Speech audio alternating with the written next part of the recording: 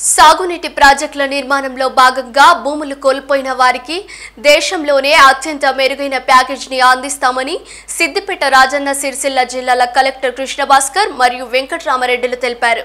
సిద్దిపేట సమీకృత కలెక్టరేట్ కార్యాలయ సమావేశ మందిరంలో జిల్లా ఉన్నత అధికారులు జిల్లాలోని వివిధ మండలాల అధికారిక యంత్రాంగంతో మల్లనసాగర్ ప్రాజెక్టు ముంపునకు గురయ్యే ఎనిమిది గ్రామ పంచాయతీల్లో ఆయా గ్రామ భూ నిర్వాసితులకు పరిహారాన్ని ఇళ్ళ పట్టా పత్రాన్ని అందజేసే కార్యక్రమంలో పదమూడు మందితో కూడిన జిల్లా ఉన్నతాధికారుల బృందాలను నియమిస్తూ పంపిణీ శిబిరంలో చేపట్టాల్సిన విధులపై వారితో సుదీర్ఘంగా సమీక్ష జరిపారు.